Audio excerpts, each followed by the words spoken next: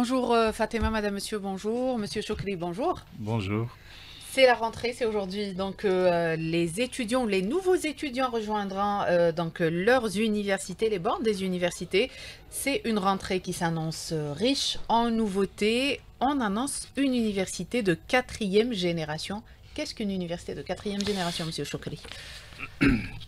Alors, une université de quatrième génération, c'est une université qui euh, possède euh, plusieurs caractéristiques. Donc, il se caractérise par euh, des caractéristiques différentes de celles d'une université classique. c'est une université numérisée. c'est une université branchée, connectée, où il y a une, nouvelle gouvernance par rapport à l'université classique. Et euh, c'est une université entrepreneuriale, c'est-à-dire qu'elle permet à ses étudiants, à ses enseignants-chercheurs de, euh, de travailler dans des conditions euh, propices à la création de la richesse, à la création des startups et, et, et des micro-entreprises. Alors, pour cela, nous avons sélectionné euh, des, établissements d'enseignement supérieur. Nous avons sélectionné 23, 8 euh, écoles supérieures et 15 universités pour pouvoir assurer dès euh, cette année une transition vers l'université 4.0. Très bien. Alors, euh, donc c'est, euh, vous dites 23 euh, universités qui sont sélectionnées. Est-ce que ça englobe toutes les spécialités ou il y a aussi des, une liste de spécialités qui, oui, oui, ça englobe toutes, toutes les, les, spécialités. Donc, c'est une université d'abord qui va, ces, ces, universités sélectionnées, ils vont d'abord travailler pour numériser leurs espaces pédagogiques. Et euh, quand on dit euh, numérisation des espaces pédagogiques, c'est-à-dire, euh, par exemple, fixer des, des normes par rapport, au, par exemple, aux salles de travaux dirigés, travaux de pratique, mettre de ce qu'on appelle la reconnaissance faciale pour pouvoir suivre les, le, parcours de, de l'étudiant et aussi fixer par exemple des, des tableaux interactifs avec euh, lesquels on peut suivre des, cours en, ligne. Et euh, les étudiants peuvent, par exemple, travailler euh, en collaboration avec des étudiants qui se trouvent dans des universités ou des facultés étrangères. Très bien. Alors il y a ça pour cette année. Il y a également euh, donc ces, euh, ces universités qui sont sélectionnées. Juste une petite précision pour les autres. Est-ce qu'il y a un délai, euh, Monsieur pour la généralisation on va, on, va, généraliser petit à petit. Il y a des, des établissements qui nous ont aussi sollicité pour pouvoir intégrer cette nouvelle vision. Et je pense qu'on va les, les accepter pour pouvoir généraliser donc ce, ce, réseau qui euh, souhaitent euh, donc euh, s'impliquer dans cette nouvelle vision. La numérisation, donc l'université s'inscrit dans cette démarche initiée par le gouvernement. Cette année encore, il y a eu de nouveaux services lancés la, la numérisation, c'est un axe principal d'abord de l'action gouvernementale. notre secteur, notre secteur a commencé à, à, renforcer cette numérisation, ça, fait pratiquement deux ans, par la mise en place de ce qu'on appelle le SDN, le schéma directeur de numérisation, et euh, à partir duquel nous avons euh, mis en place plus de 50 euh, plateformes. Et nous, travaillons aussi à renforcer toute la gestion pédagogique grâce au, au Progress. Donc, toutes les, activités ou toutes les actions menées à travers les universités se font en ligne. Euh, par exemple, le WebEtu, qui est une, une, application qui permet l'accès à l'étudiant euh, de voir euh, tout ce qu'il souhaite voir concernant son activité pédagogique, par exemple ses emplois du temps, son, cursus, toutes les délibérations, les résultats, etc. Très bien, donc tout euh, se fera euh, en ligne euh, à partir de cette rentrée. Je rappelle aussi que, par exemple, toutes les étapes des inscriptions du, du, début de, de l'opération d'inscription jusqu'à la fin a été, a été un succès ça a été fait, euh, toutes les étapes se sont déroulées avec succès et ça a été fait à zéro papier. Euh, euh, toutes les étapes, se sont faites donc en ligne. Très bien. Avant de revenir sur les autres nouveautés, vous avez parlé des inscriptions. Vous me permettez de rebondir pour demander est-ce qu'aujourd'hui, tous les transferts, les recours, toutes ces étapes, c'est terminé? Oui, il reste encore l'étape du transfert des anciens étudiants. Donc euh, ça se termine, donc euh, la fin c'est le 28 euh, septembre et tout, tout sera donc terminé. Et on commence donc l'année à partir du donc à partir d'aujourd'hui. Mais le 28, ce sera la fin des, des opérations qui sera terminée donc avec ces, ces transferts qui se font d'ailleurs en, en ligne. Alors, autre euh, nouveauté annoncée pour euh, cette rentrée, c'est cette possibilité de suivre deux disciplines euh, à la fois. Donc, est-ce que c'est déjà, est-ce que ceux qui ont un diplôme déjà, c'est-à-dire obtenu dans les années passées, peuvent également s'inscrire avec leur ancien bac? Non, le, diplôme, la, notion de, la double diplomation, donc c'est un, c'est une, c'est une nouveauté par rapport à notre secteur. Nous, l'avons commencé euh, euh, l'année passée. Euh, cette année, nous avons habilité 19 offres de formation. C'est quoi une double diplomation? C'est un double parcours. Donc l'étudiant avec un seul bac, il peut s'inscrire dans deux parcours différents. par exemple, cette année, nous avons introduit la, médecine. Et donc, nous, avons euh, pour la médecine, nous avons euh, plusieurs exemples.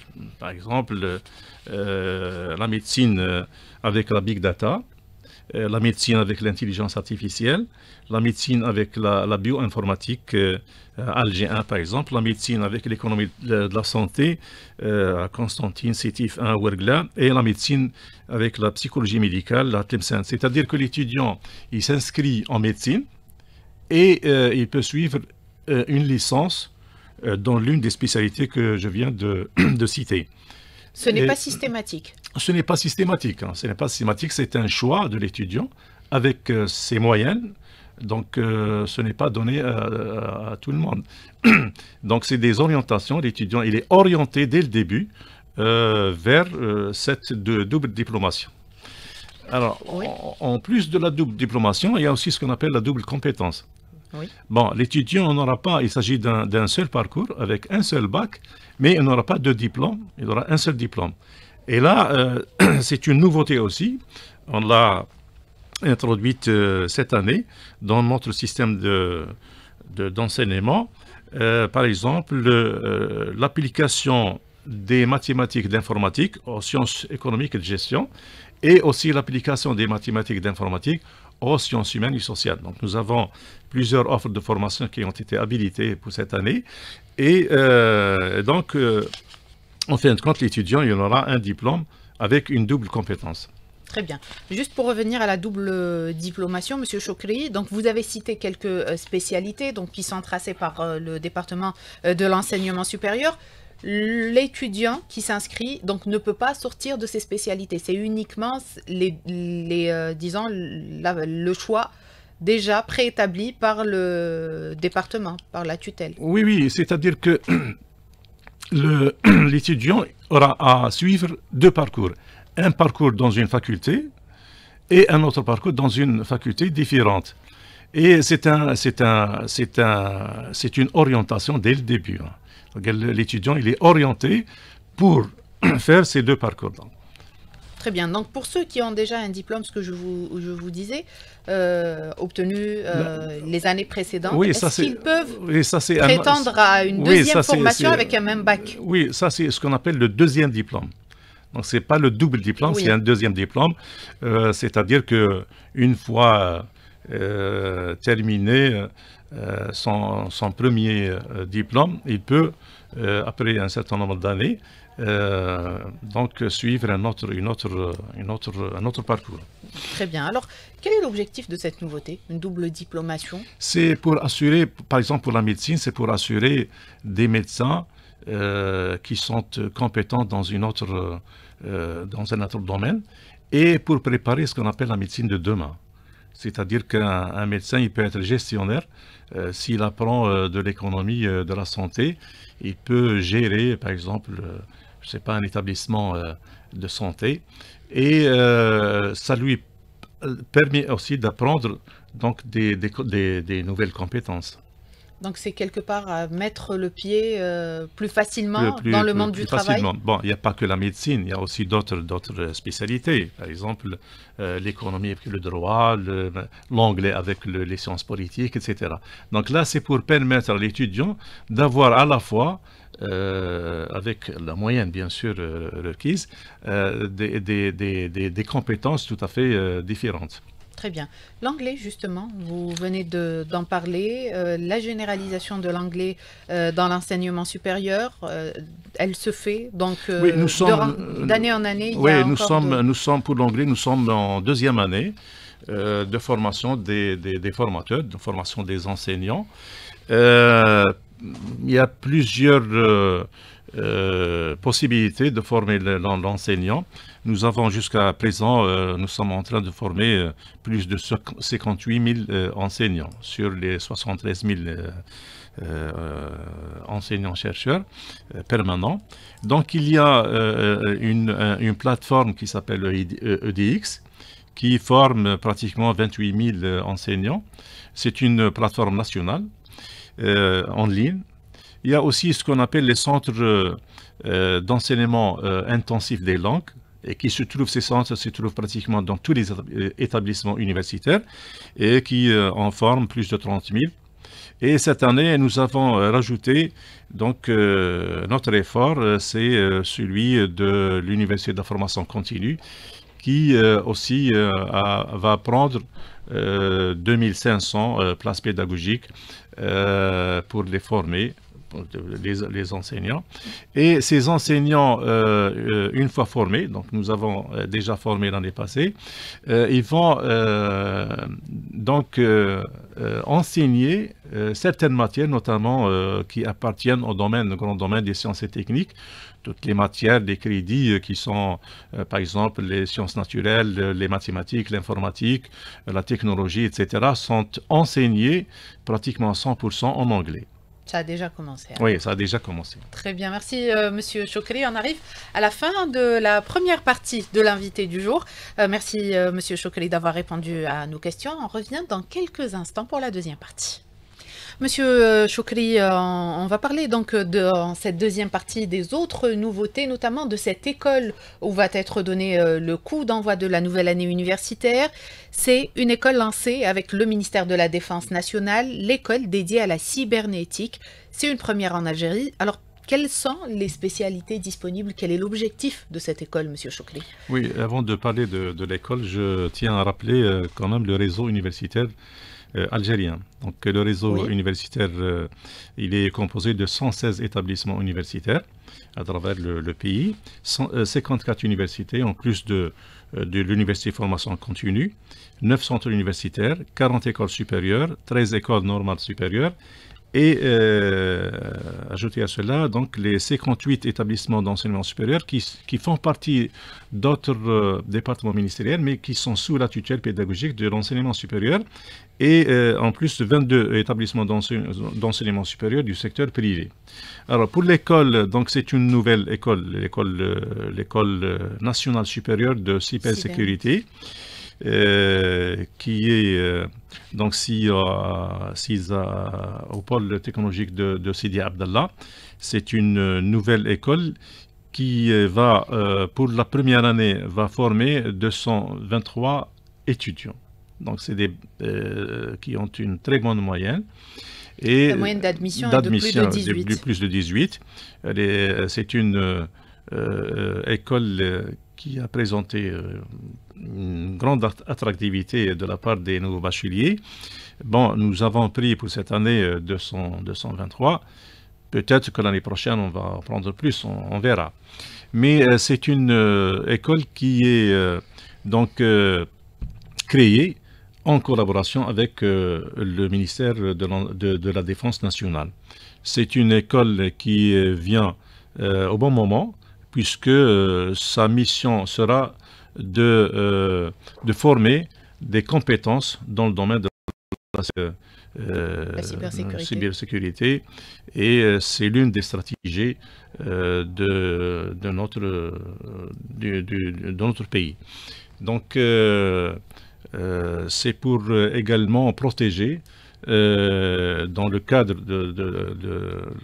de, la sécurité, protéger contre toute attaque malveillante que nous, vivons actuellement euh, des, des, attaques euh, tout à fait euh, nouvelles. Et donc, cette école va nous former des cadres dans le domaine donc, de la sécurité euh, la cybersécurité. cybersécurité. Alors, euh, cette école euh, va, est, lancée cette année, donc c'est aujourd'hui le premier jour pour cette école. Les encadre, l'encadrement, pour, l'encadrement, c'est un encadrement algérien. Donc, nous avons pour cela sélectionné des, des, des, des enseignants spécialisés en la matière. Nous avons fait des entrevues à travers le pays dans trois conférences régionales. Et euh, nous avons donc pu sélectionner une vingtaine d'enseignants qui vont commencer euh, cette année. Euh, donc nous avons équipé également l'école par des, des, équipements spécifiques. Et petit à petit, l'école va donc faire aussi de la recherche d'innovation dans le domaine de la cybersécurité. Très bien. Alors, quelles sont les spécialités? Il y a plusieurs spécialités euh, donc, qui sont euh, proposées au niveau de l'école? Pour le moment, il va y avoir les deux ans de formation de base. Et à partir de la troisième année, il va y avoir de, donc la spécialité. Donc pour le moment, on n'a pas, de, on n'a pas encore euh, réfléchi sur les, spécialités. Donc il y a, c'est après deux ans de formation de, base qu'on va après donc opter pour le choix de la spécialité. Très bien. Alors aujourd'hui, l'université se veut euh, donc de répondre un peu aux objectifs euh, économiques et, sécuritaires également. On voit avec cette école euh, du pays. Donc renforcer le rôle économique des universités, c'est l'objectif qui est assigné à votre au département donc de, l'enseignement supérieur. Est-ce qu'il y a des il y a aujourd'hui les incubateurs, il y a des mécanismes qui sont mis en place au niveau des universités pour faciliter l'intégration des étudiants? Est-ce qu'il y a d'autres avantages? Et surtout qu'en est-il pour le financement de ces projets, Monsieur donc l'année universitaire 2024-2025 euh, sera marquée justement, comme vous dites, madame, par plusieurs nouvelles dispositions, euh, notamment euh, celles qui peuvent impliquer davantage l'université dans le développement économique. L'université d'aujourd'hui est appelée à orienter les étudiants, les enseignants-chercheurs et les diplômés vers l'entrepreneuriat et la création des startups et les micro-entreprises. Donc, euh, ces euh, startups et ces euh, micro-entreprises sont génératrices de, richesse. Et le, diplômé, enfin, il ne sera pas demandeur d'emploi, mais il sera créateur d'entreprises. De, Alors, nous avons pour cela mis en place un environnement, ce qu'on appelé environnement entrepreneurial, et euh, cet environnement sera propice donc à cette euh, euh, participation, cette contribution de l'université dans le développement, économique. Donc nous avons formé l'année passée 200 000 étudiants dans le domaine de l'entrepreneuriat. Nous avons également créé 117 incubateurs. Ces incubateurs sont répartis à travers le pays. Et euh, ces incubateurs sont, euh, sont là pour euh, offrir un environnement propice à la naissance de ces startups. il y a 91 aussi centres d'appui technologique et d'innovation. De même que nous avons créé 107 centres de, développement de l'entrepreneuriat, très important. Et c'est à ce niveau-là que les étudiants euh, peuvent donc euh, apprendre les bases essentiel de, voilà, de l'entrepreneuriat. Très bien. Alors il y a également aujourd'hui ces universités qui signent des conventions avec des entreprises euh, pour former pour les besoins de ces entreprises ou du monde économique directement. Est-ce qu'aujourd'hui elles sont nombreuses? Est-ce que l'université a, le, ou a des facilités pour pouvoir aller vers le monde économique aujourd'hui? Oui, nous avons donné euh, l'autonomie euh, et la responsabilité à tous les établissements au niveau national de euh, travailler avec euh, le milieu environnant, c'est-à-dire en signant des conventions cadres avec, euh, avec les entreprises économiques pour, pour, pouvoir donc travailler en collaboration et créer de la richesse ensemble. Alors, euh, Monsieur Chokri, peut-être une dernière question, le rôle de la diaspora. On sait qu'il y a des pays qui ont euh, justement euh, su, disons, faire participer cette diaspora pour bâtir une économie forte. Je cite l'exemple de la Corée du Sud, mais il y en a d'autres. Alors, quelle est la stratégie adoptée au sein de votre département pour justement intégrer la diaspora dans le monde universitaire? La diaspora algérienne est une richesse et cette richesse, cette richesse doit être valorisée. Donc c'est un capital humain euh, qu'il faudrait, euh, je pense à tout prix, euh, lui impulser une nouvelle dynamique. Alors, le secteur de l'enseignement supérieur et de la recherche scientifique est très favorable donc, par rapport à cette composante et son soutien. Et surtout celle qui, c'est-à-dire qui souhaitent euh, contribuer à l'effort national. Il y en a beaucoup, il y a des centaines qui souhaitent ça. Donc euh, le, ministère de l'Enseignement supérieur, pour cela, a revu certains textes juridiques pour pouvoir donc intégrer ou aider cette diaspora pour la contribution à l'effort national. Donc, je, citerai certains d'entre eux qui viennent chaque année euh, participer à des écoles d'été, par exemple, à des manifestations scientifiques, euh, à des jurys de soutenance, euh, de doctorat, et ce qu'on appelle aussi l'encadrement en co-tutelle de thèse. Mhm. Je citerai également un, exemple concret que nous avons réalisé l'année passée, le, en, mois de mai 2024, avec la signature d'une convention cadre de partenariat entre d'une part le ministère de l'Enseignement supérieur et de la recherche scientifique, le ministère de la Santé et la fondation euh, Zerhouni, qui est une euh, fondation caritative euh, établie aux États-Unis. Donc, et, ça, justement, c'était fait dans, dans, le cadre, dans la concrétisation des engagements de Monsieur le Président de la République, qui encourage et dans le cadre d'encouragement et, de, la promotion de la participation de, la diaspora à l'effort national. Donc c'est une, c'est une, euh, c'est une convention qui a pour but de la mise, la mise en place et le développement d'une plateforme d'enseignement en ligne destinée aux étudiants inscrits dans les sciences médicales et les sciences paramédicales. Elle est déjà, euh, elle est déjà, active. Elle est déjà active. Nous avons euh, euh, préparé tout le nécessaire pour pouvoir démarrer cette année-là avec des, un contenu pédagogique très élaboré et adapté à notre système d'enseignement supérieur. Merci, euh, Monsieur Chokri. Euh, merci d'avoir accepté notre invitation, d'avoir répondu à nos questions. C'est donc ainsi qu'on arrive à la fin de cette émission du jour. Merci à vous de nous avoir suivis.